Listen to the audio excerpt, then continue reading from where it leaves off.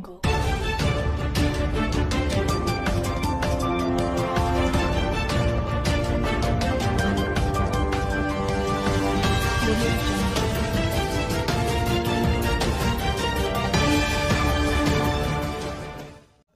Hello everyone, welcome to Afro News South Africa. If you are coming across our channel for the first time, you are very much welcome. Please kindly subscribe to our channel and share our videos. Hit on the notification bell to get the latest videos. Thank you. Whoever believes South Africa is a safe place for anyone at this point in time will be deluding themselves. President Cyril Ramaphosa's security was almost compromised earlier this afternoon while in Lebowakgomo attending an ANC event organized by the ANC Women's League. Ramaphosa had attended the event, which was a memorial lecture remembering ANC struggle stalwart Lilian Ngoyi, and he was expected to speak.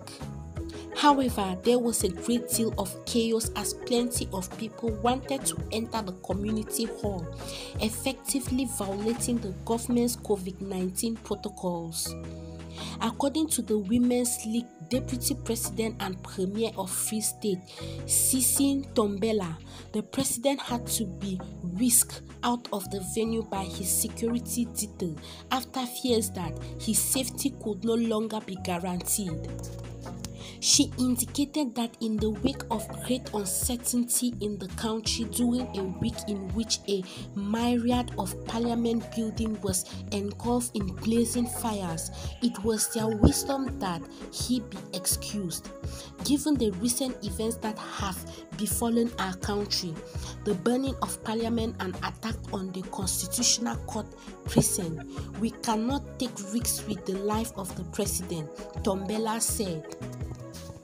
Although the party's women would have felt a great deal of disappointment of not being addressed by the president, the secretary of ANC Women's League profusely rendered an unreserved apology, unequivocally stating that the president didn't shun the event, rather, the situation had become unattainable. We sincerely apologize for what happened. We must not push the narrative that the president walked away from the event because it was due to COVID 19 regulations that he had to leave, said Matuba. It is one's opinion, therefore, the president's security detail took such an important measure in the snap of a finger to ensure the important citizen of the republic remained safe. The country's crime intelligence is seemingly dysfunctional, and you could argue that it would take some time for it to be restored and anticipate security threats because there is a grave concern at recent times.